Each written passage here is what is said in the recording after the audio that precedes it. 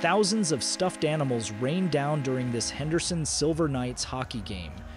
The annual teddy bear toss saw hockey players collect 15,000 stuffed animals, which will all be donated to charity after the game.